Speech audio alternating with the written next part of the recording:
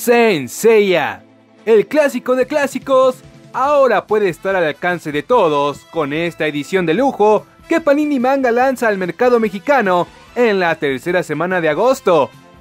Pero no solo estrena esta serie, sino también Inuyasha, Akame ga Kill y Home Sweet Home. Sin duda una semana dura para quienes adquirirán todas las series. Pero hoy nos centraremos solo en revisar la grandiosa y tan pedida obra del cosmos. Pues como saben, les hablaremos de la edición como tal, de su historia y finalmente de datos alrededor. Así que iniciamos. Debido a su precio, es una edición que definitivamente lo incluye todo. Pues a la vista, el tamaño es más grande que cualquier manga regular, comparable al manga de Ghost in the Shell que editó el mismo Panini hace meses. Exactamente, sus medidas son de 14.5 por 21 centímetros. La lectura no debería ser dificultad para nadie.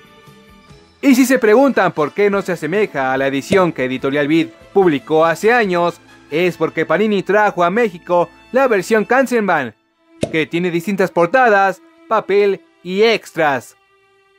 La sobrecubierta tiene un acabado plastificado brilloso, sin ninguna especie de relieve o tintes especiales, por lo que vemos en primera instancia a nuestro protagonista Seiya para iniciar con la serie. Se añade el número de tomo, una especie de sinopsis en griego, el título de la obra encerrado en un círculo y por supuesto que el logo de la serie. En el omito vemos los mismos elementos en un fondo rojo, solo que en lugar de ver el nombre del manga en el círculo, está la armadura de Pegaso, por lo que parece que con cada entrega veremos las armaduras aquí ubicadas. Girando el tomo, vemos de nuevo la genial sinopsis en griego, el número, el título y a Pegaso. Por cierto, viene aquí la acostumbrada advertencia de lectura, recomendada para mayores de 13 años. Además de que su precio es de 139 pesos, asegurados al menos para esta primera entrega. Ahora, retirando la sobrecubierta, vemos todo en tono rojizo.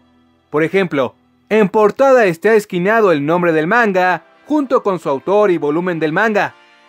A un costado, los mismos elementos que la sobrecubierta, y en contraportada tenemos un genial arte de personajes. Pero viene lo más emocionante. Al abrir el tomo nos topamos con que la primera y segunda de forros están en color vino, lo que le da una mejor impresión a la edición y la hace lucir bastante atractiva. Como ya se dieron cuenta, incluye una página a color que se puede desplegar para formar una especie de póster, que abre y da inicio a esta gran historia. Esta es una especie de extra, pues se titula Senseiya, nuestras escenas favoritas, lo que hace pensar que veremos uno de estos en cada número.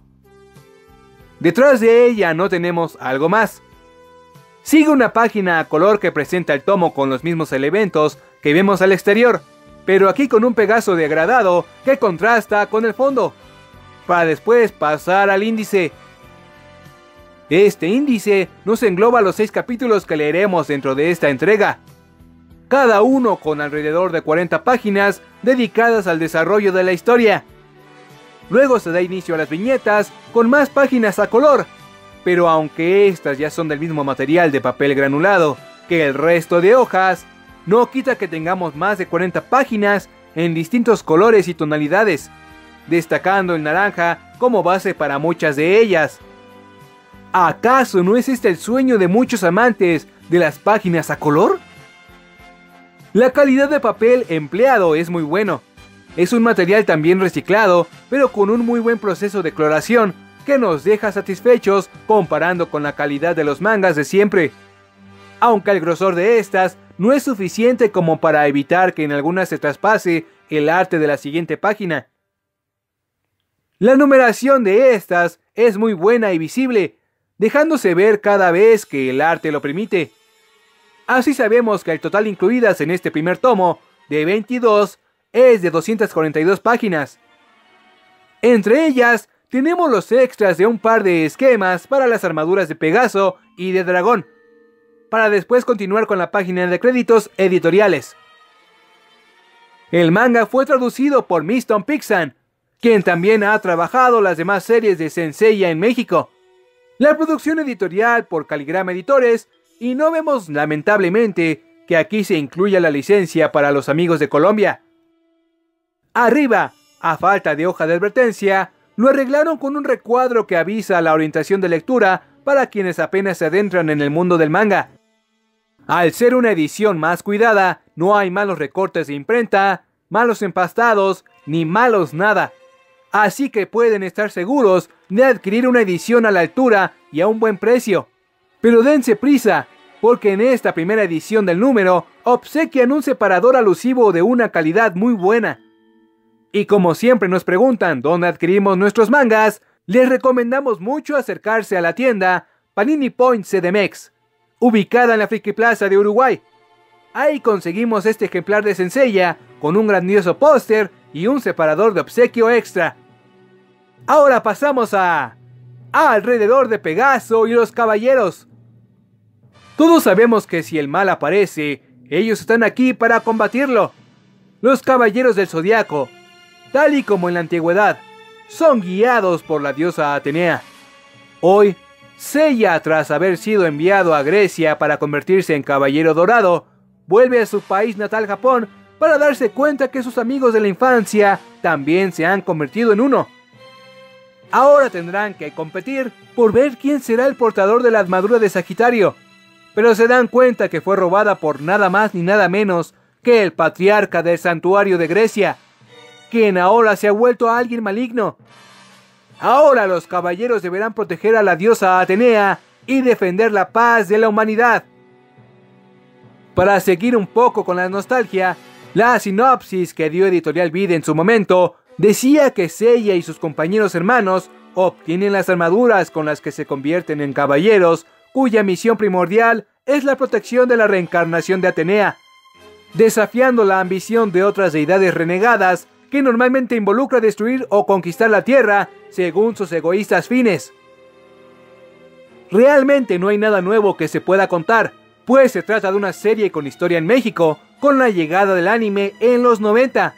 Pero eso sí, al tratarse de un manga del siglo pasado, tenemos un trazo y dibujo bastante clásico, con personajes ojones y estructuras óseas no muy bien asemejadas.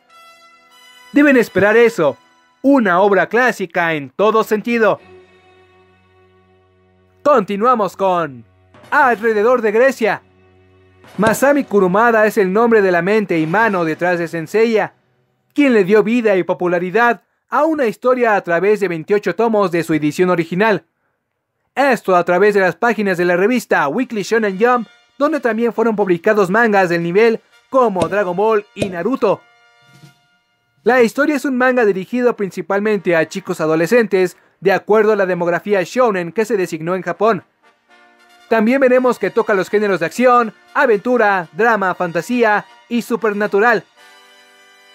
Su periodo de publicación abarcó de 1986 a 1991 y en México lo pudimos ver por primera vez en 2004 con la edición regular a en ese entonces más de 40 pesos por tomo.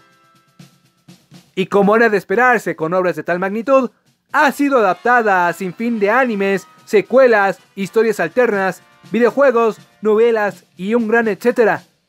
De lo que destacamos sus precuelas Senseiya Episodio G, publicado por Editorial Kamite, y Senseiya Todos Canvas, ya publicado también por Panini Manga.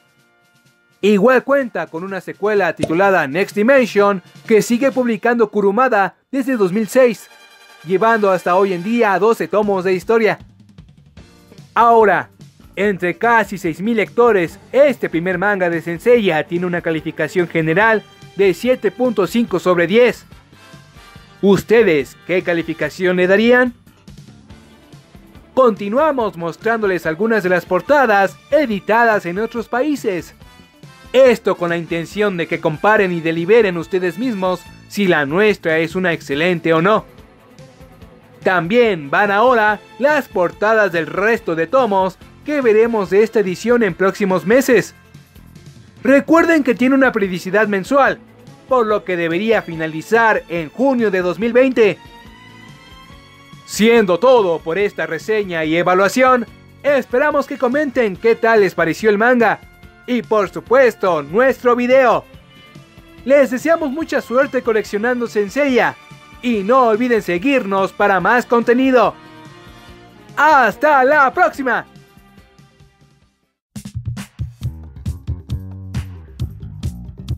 Si te interesa el contenido del canal, anímate a visitar algún otro de nuestros videos. No olvides suscribirte.